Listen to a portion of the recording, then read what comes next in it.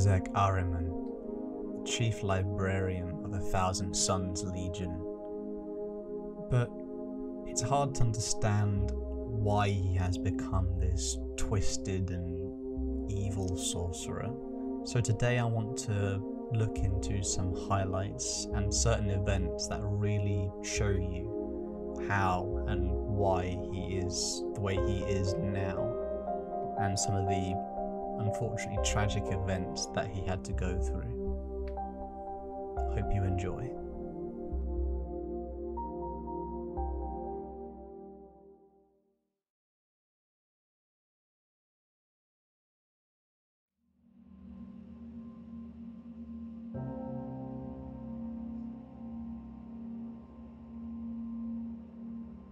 Ahzek Ahriman was born on Terra, amongst wealth and nobility.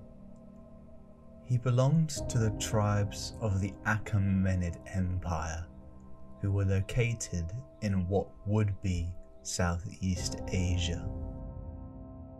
Seeing the wisdom of a united humanity, they chose to ally with the Emperor during the early days of the Unification Wars.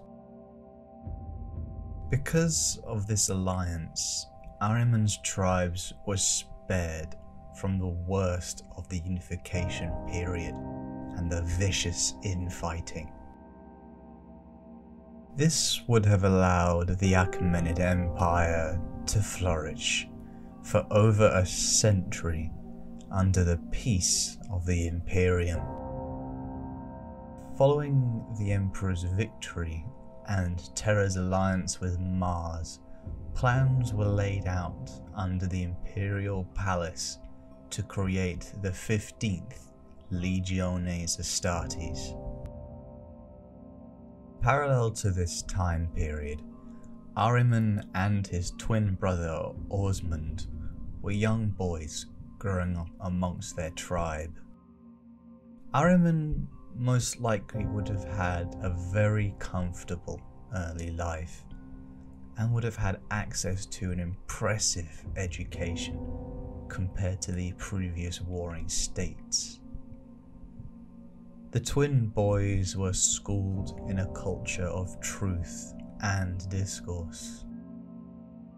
As a result of the peaceful nature of the region and the protection enjoyed by the early adoption of imperial allegiance, the Achaemenians sported few of the genetic defects or abnormalities seen amongst humans during this time, and were therefore selected as an ideal recruiting source proving themselves to be competent and genetically stable, Ahriman and his twin brother Osmund were selected to be inducted into the ranks of the Legiones Astartes. However, during their gene seed implementation, brief resurgences of the warp storms within the boundaries of the solar system flared up This brief warp storm was said to have generated psychic flashpoints all across Terra's globe, resulting in the outbreaks of madness, deaths, and displays of cruelty. Rumours circled that the storms affected the 15th Legion's gene seed implementation. However, this was yet to be seen. Surviving the implementation, the Ahriman brothers travelled to the stars alongside the Emperor and his legions as part of the Great Crusade to unite humanity. At this time, the Legion had only seen small skirmish action with some rebel elements on Terra, but now would be set loose upon the stars But only five years into the expedition, the Thousand Sons Legion began manifesting psychic abilities. And with these manifestations began the flesh change. Despite a high level of compatibility with the gene seed, large numbers of the Legion began to slowly devolve. A Marine would be solid in stature one day, and then the next collapsing into a ball of mutated flesh. Ahriman and his brothers must have felt completely powerless, despite the manifestation of their new abilities. One of those who perished was Osmond Ahriman. Having to put down his own brother instilled overwhelming grief in Ahzek. They had been chosen together, they trained together, and survived the genetic implantation together. Ahriman had lost his closest friend and his brother and shared the sentiment with his fellow Astartes of complete desperation. The problem became so severe that many voices throughout the Imperium began suggesting that the Thousand Sons be disbanded. On the verge of falling, the Legion was saved by the rediscovery of the Thousand Sons Primarch, Magnus the Red. The Primarch had brought them salvation and presented a miraculous cure to the 15th Legion for the affliction. Although only a fraction of the Marines survived the mysterious disease. Ahriman and the surviving Marines would have been truly grateful and would have thought highly of the genius of their new leader. In remembrance of his brother, Ahriman had Osmond's pendant worked into the shoulder guard of his armour, a reminder of his home and the journey he had endured thus far.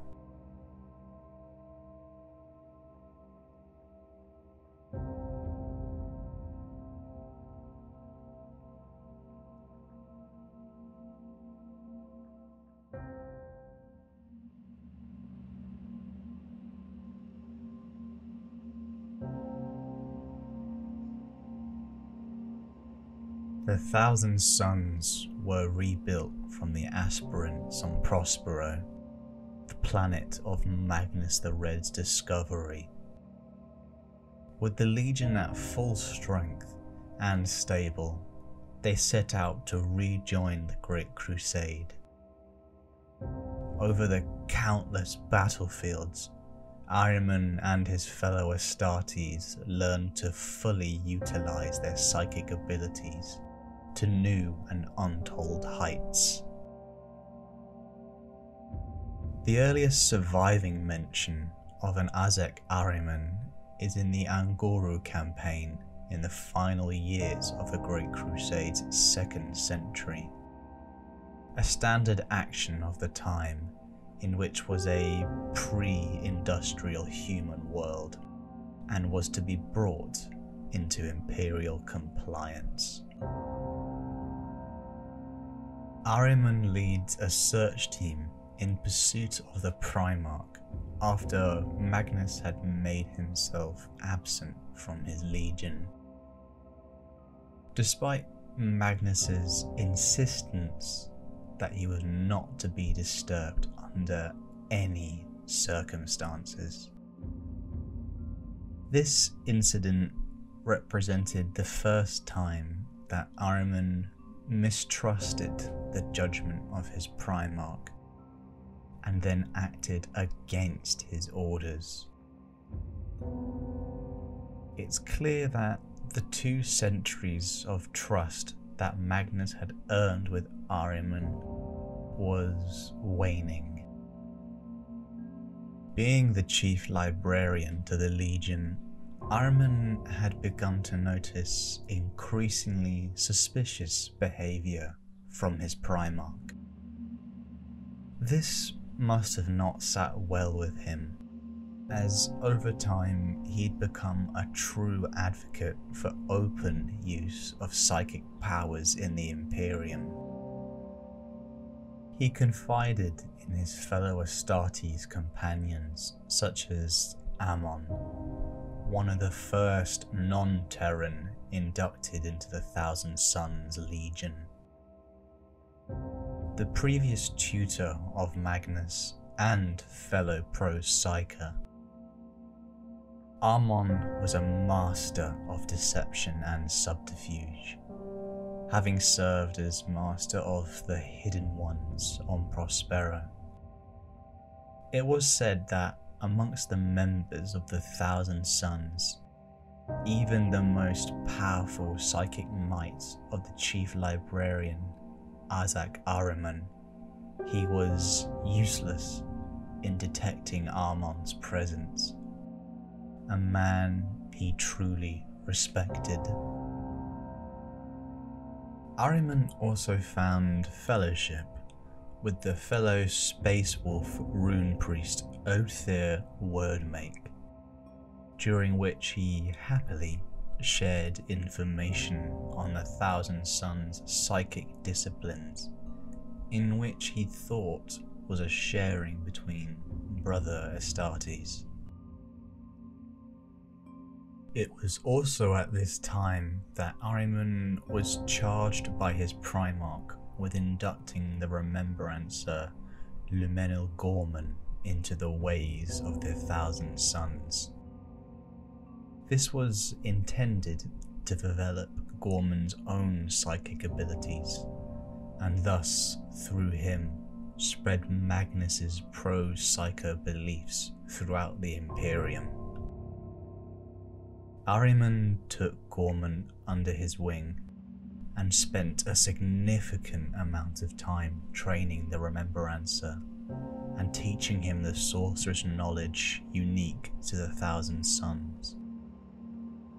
But Ahriman's dreams of a pro-psyker imperium would have doubt cast upon it.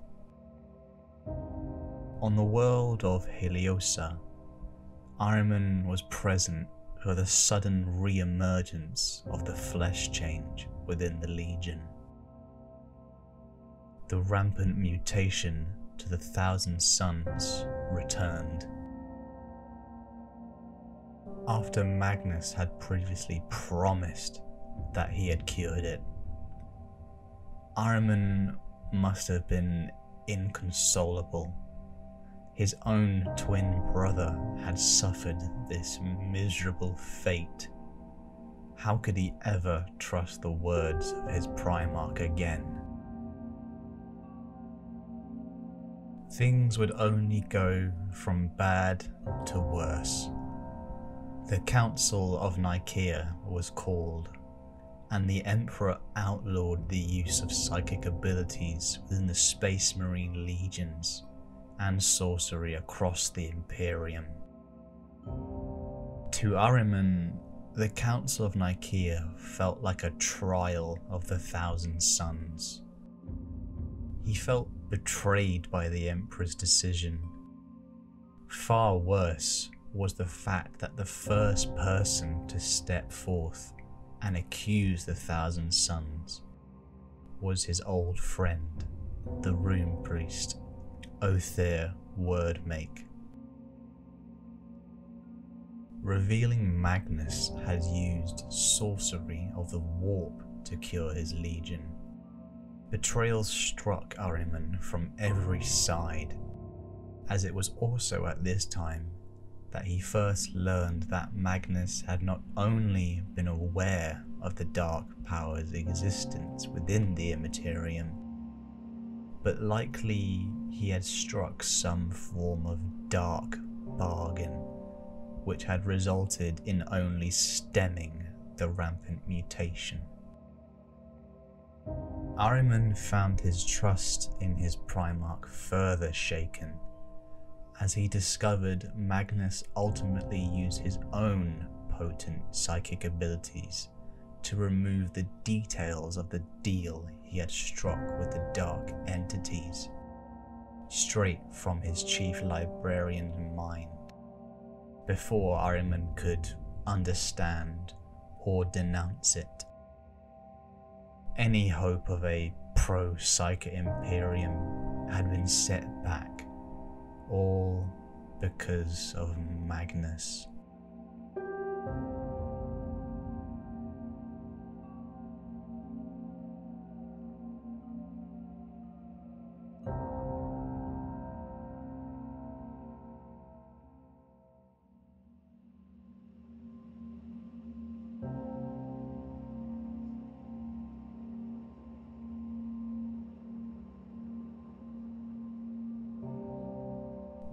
We rejoin Ahriman and the Legion before the start of the Horus Heresy, where Magnus next attempted to warn the Emperor of the impending betrayal of his son Horus.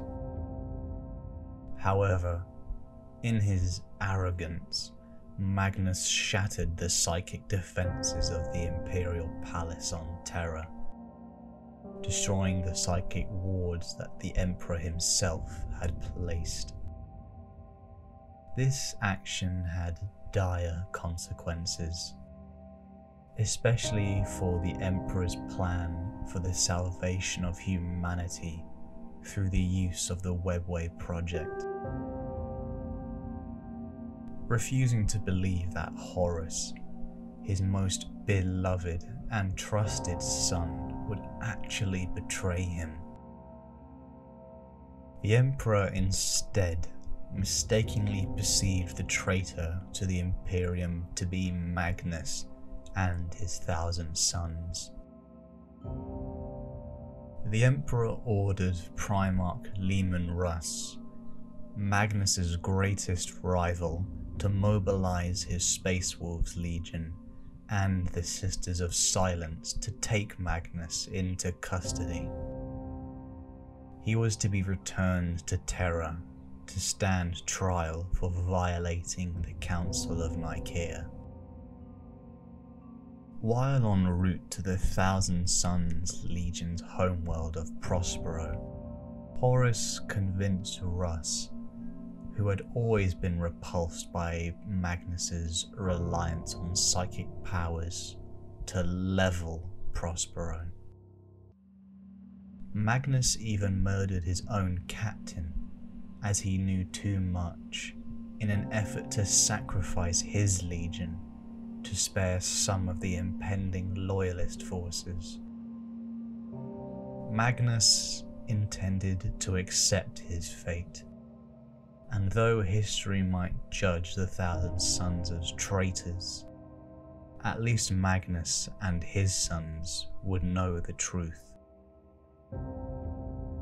They would know that they were loyal unto the end because they accepted their fate. After the Space Wolves Legion fleet entered the system, they proceeded to destroy Prospero's orbital defenses. They then commenced a tremendous orbital bombardment that reduced Prospero and its people to cinders, except its capital, Tizca,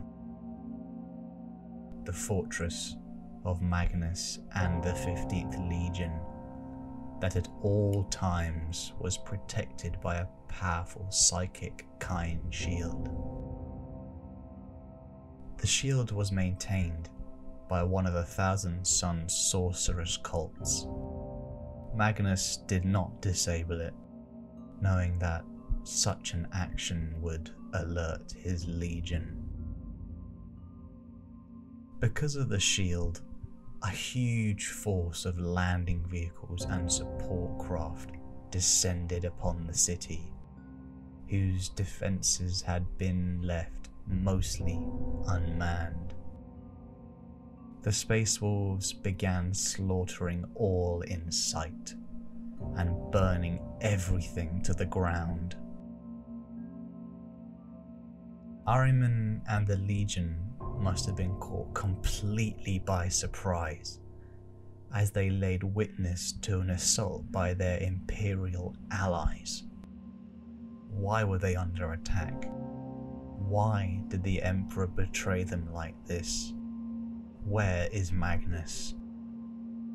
Ahriman and his friend, Captain Amon, rallied their brothers. They would not be sacrificed to atone for the sins of another. The 15th took up arms against their loyalist invaders and managed to hold Tizca, fighting tooth and nail for every meter. And for a period of time, actually held. Sensing Ohthere Wyrdmake's presence in the horde of space wolves, Ahriman made psychic contact with him dragging him into the etheric plane to reason with him. The two psykers dueled for a time, until Ahriman managed to link minds with Wyrdmake and showed him the truth. Wyrdmake learned it all. Horus's betrayal, the setting up of the Thousand Sons and Space Wolves, and the mistakes that had led them to this point. He returned both himself and the stunned Wyrdmake to their bodies, but kept their minds linked. Ahriman paused to look around and witnessed Leman Russ slay the Thousand Sons by the dozens, and the Space Wolf's mindless destruction of all he held dear. In a moment of rage, Ahriman spitefully cast Wyrdmake's soul into the warp, leaving him to a slow death. They had been friends once, and in anger he had destroyed him and his chances of clearing his legion's name. There was no hope and Ahriman accepted the consequences of his actions, believing his death was certain. After bearing witness to the complete destruction of Prospero, even the libraries, Magnus thought that this had gone too far, and reluctantly he took to the battle against the loyalist forces of Leman Russ and his Wolfen. At the height of the battle, Magnus and Leman Russ took part in a devastating duel in which Russ was ultimately victorious. Mortally wounded, with his back broken, it was seemingly the end for Magnus, for Ahriman, and the Thousand Sons Legion, when suddenly at the edge of defeat, the Legion vanished.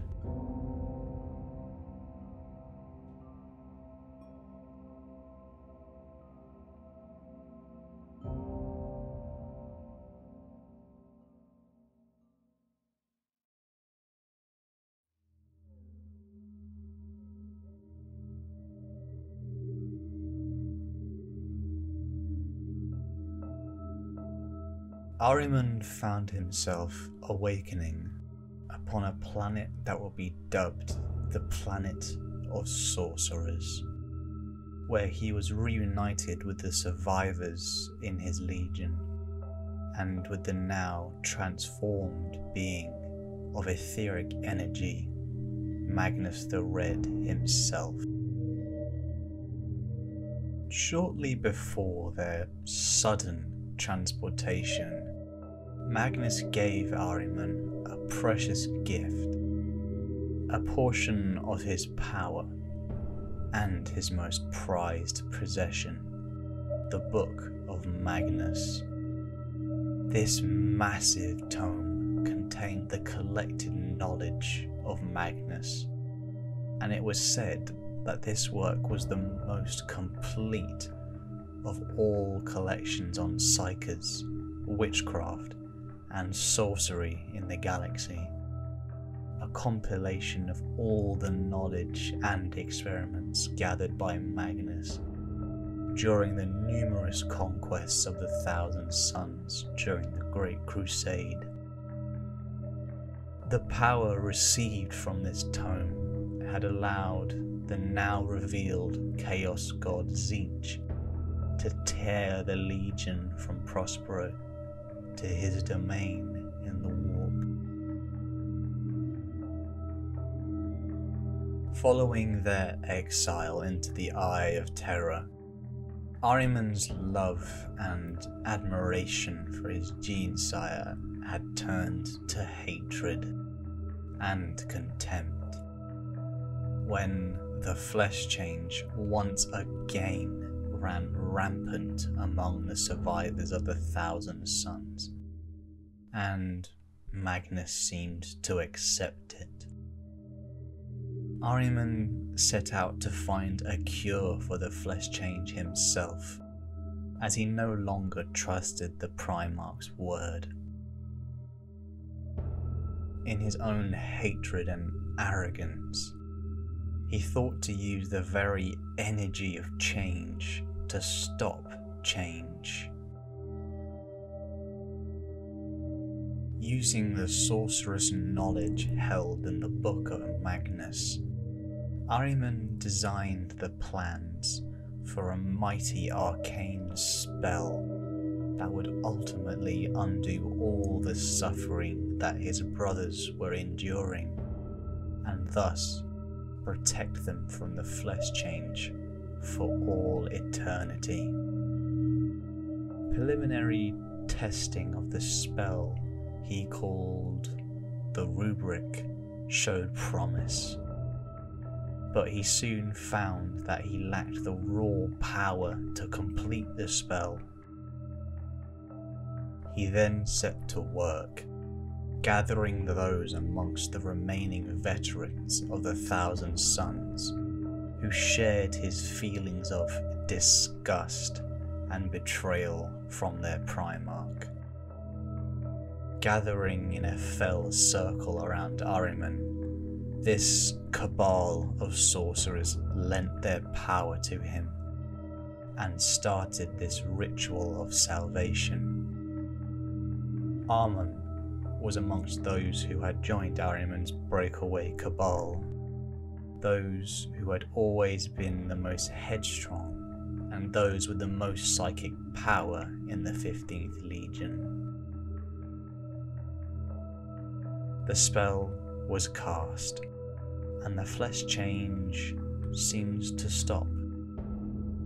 But the true results were not what was intended. The spell preserved less than a hundred of the Legion's sorcerers and condemned the rest.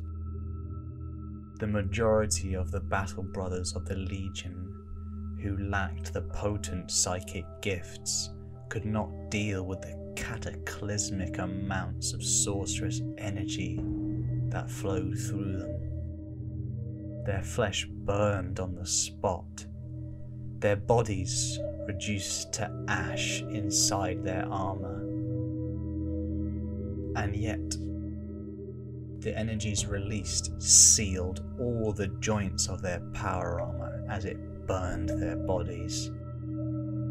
When their souls attempted to depart these ruined husks, they found themselves prisoners inside their own armor, dead yet still alive, hollow, and without a body forever. Ahriman himself, along with most of the gathered cabal, were distraught with the results.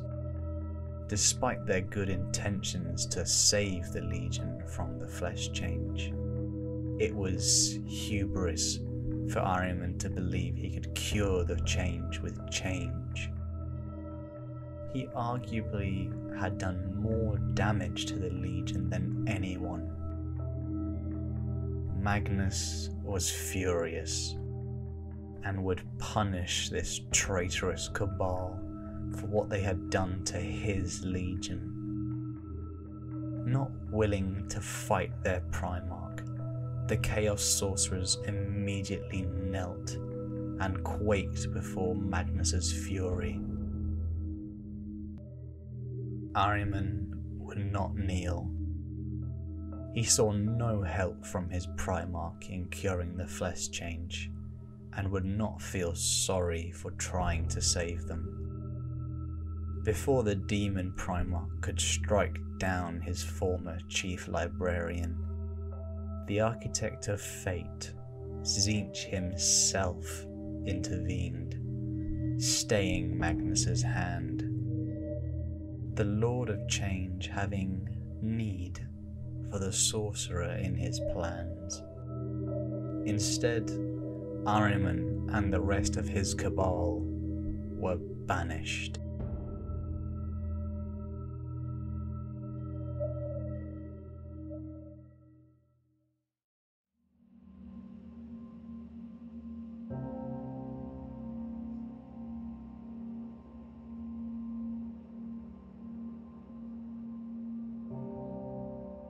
As Ahriman was exiled, he had plenty of time to reflect on the life changing events that he had experienced in succession.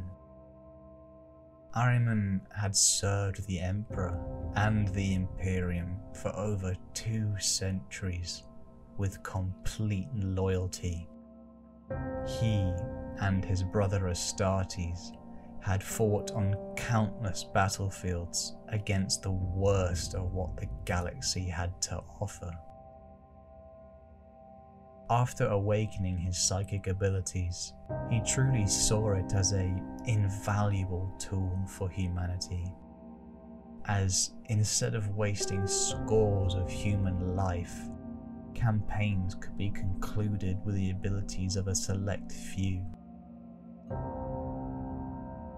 With the results of the Council of Nikaea and the condemning of the Thousand Sons, Ahriman must have felt frustrated with the state of the Imperium. But he never could have imagined that the Imperium would betray them and attempt to destroy the entire Legion. He threw away any loyalty he had to the Imperium as now he realized they did not align with his beliefs on humanity and psychic powers being intertwined. With the failure of the rubric ritual, Ahriman carries this immense guilt for cursing his brothers and is despised by a number of his fellow sorcerers. He would spend many years in exile hiding from those who wished him dead, and would use this time to increase his warpcraft knowledge to better understand the Rubricae. We rejoin Ahriman, who has been hiding amongst a renegade warband dedicated to Khorne. Known as the Harrowing, masquerading as a lowly sorcerer initiate named Horkos.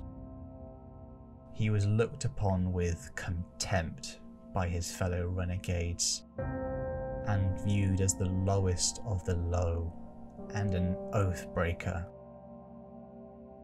Amongst those dedicated to Khorne, it is the last place you would expect to find a powerful sorcerer due to their anti-magic zeal that Khorne is known for, as well as the dampening aura those chosen of Khorne would have on psykers.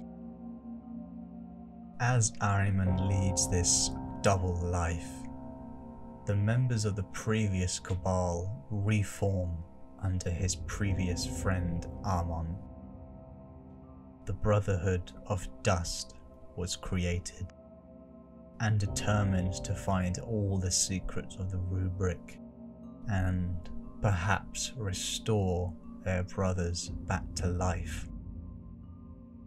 over the next 1000 standard years, Amon amassed more and more power, gathering void ships, other Chaos Space Marines, hundreds of Rubricae, and a number of apprentices, who themselves became formidable Chaos Sorcerers in their own right. Yet, despite all his grand schemes and designs, he still needed the wayward Ahriman, for he possessed the greatest knowledge on the rubric. After a grueling and long search, the Brotherhood of Dust found the exile. Seeing that the jig was up, Ahriman unleashed his suppressed sorcerer abilities against both his previous Khornate allies and the encroaching Thousand Sun sorcerers. After slaughtering a majority of the Harrowing's leadership, he needed answers. How and why was he found now? After vicious duels between Ahriman and the Brotherhood, he was eventually wounded, and Amon used powerful wards of binding and hexes and brought him aboard his flagship. Luckily, Ahriman's allies came to rescue him, and they managed to aid in his escape but the former librarian was soon confronted by an enraged Amon, who unleashed a powerful psychic attack. During the ensuing duel, Ahriman revealed the secrets of the rubric. It was part of all the Thousand Sons, bound into their very souls. It was power in Ahriman's hands. Seeing that there was nothing left between them, the Chaos Sorcerer caused Amon to spontaneously combust from the powerful psychic energy. Amon's armor came apart, each component pulling away from the other, spilling grey dust and turning into the wind. Ahriman lifted into the air, the separate pieces of Amon's armor overlaying his body. Amon's horned helm slipped over Ahriman's skull. The Brotherhood of Dust just stood, witnessing this horrifying rebirth as the dead Rubricae simply waited Raising his hands, Ahriman summoned magical flames from the floor, which seared the red from the armor of every Rubricaean sorcerer. Then the flames flickered blue, and the silver armor became polished sapphire.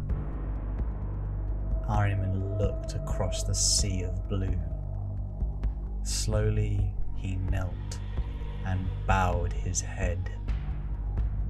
The transformed and empowered sorcerer assumed control of the Brotherhood of Dust, including its massive fleet and the army of followers.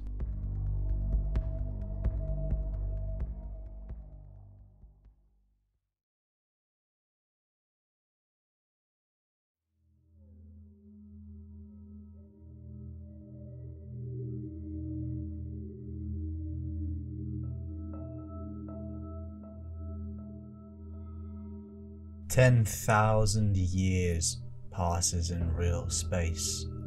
More or less for Ahriman, it's impossible to tell how the warp time has affected this sorcerer. His name is a curse in the mouths of all sentient beings. To the Eldar, he is a scourge who tries to devour the souls of this dying race a master of subtle manipulations. Ahriman has seeded cults on hundreds of worlds, using them to his own ends. A true puppet master who pulls invisible strings or sets loose his reforged warband, the prodigal sons. He has spent countless years exploring the mysteries of the universe, using the powers of the warp as his tool. He roams the galaxy in search of artifacts and knowledge, leaving ruin in his wake. He has long abandoned the ideals he held during the Great Crusade era and solely works for the betterment of himself and his legion. Ahriman even leads his warband on numerous assaults on the infamous secret Eldar craft world, the Black Library he cleverly projected himself inside the Black Library's halls, allowing his physical body to transcribe the map to the hidden passages of the webway. Adding more and more knowledge to his armory, his power begins to rival even demons of the warp. Sometime before the start of the 13th Black Crusade, in 999 M41, Ahriman was summoned back to the planet of the sorcerers by Magnus the Red himself for the first time since casting of the Rubricae. Though definitely not pleased to see each other, Magnus agreed to once again work with Ahriman towards a common goal. Revenge on the Space Wolves.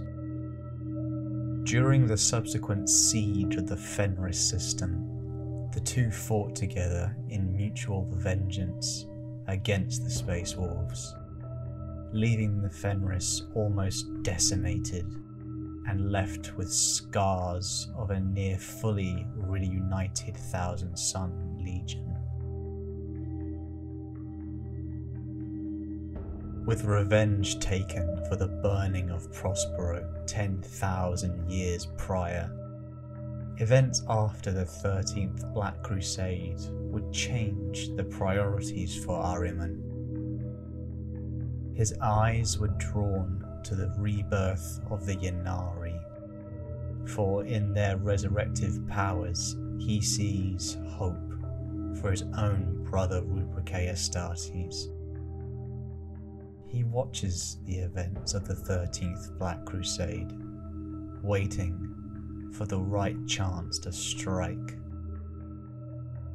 Sensing an opportunity, he leads a contingent of Thousand Sons into the webway in an effort to ambush the Aeldari forces that are seeking to form an alliance with the Imperial survivors of Cadia.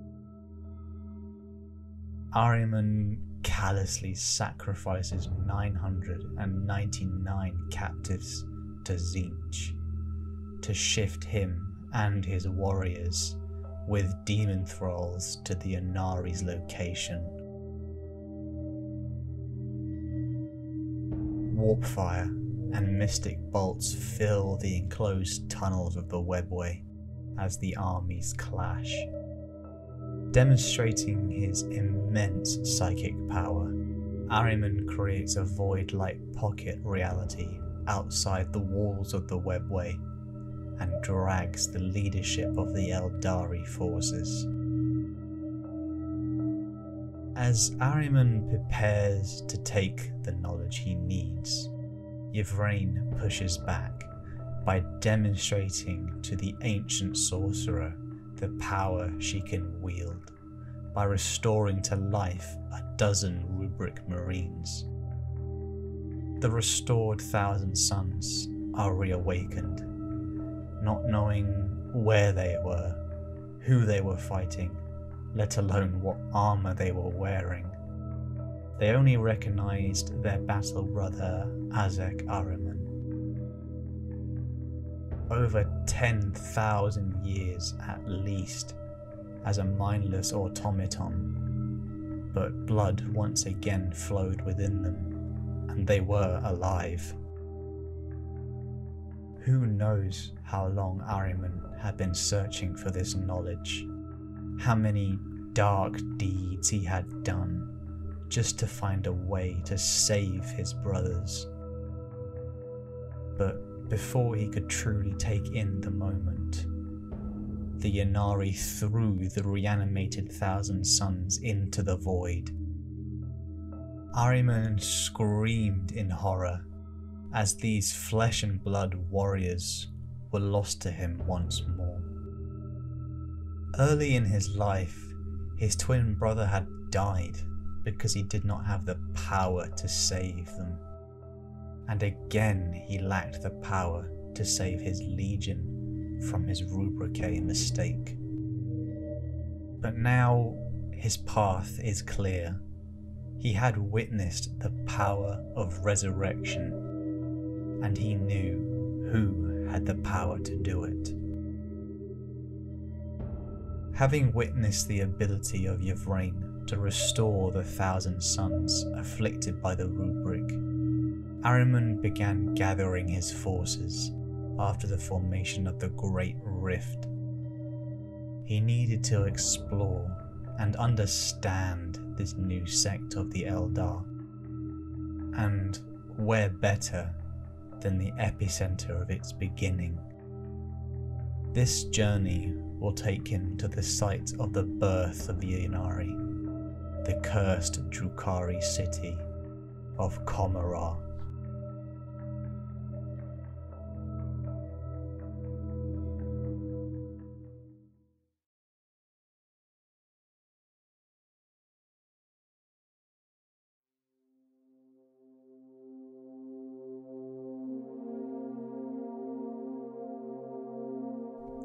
Thank you so much for watching. Ahriman is quite an interesting character because he's quite different in his reasonings for doing a lot of the, you could say, evil that he commits in the galaxy because it's not evil for the sake of evil, it's evil because he's trying to save his friends and his brothers and obviously trying to correct the mistakes and the guilt that he feels. Ahriman's obviously got a lot more to him and a lot more to explore about him, particularly in the Siege of Terra, in what's happening now in Warhammer lore. But again, thank you so much for watching, and if you want to see more, just let me know. Thank you.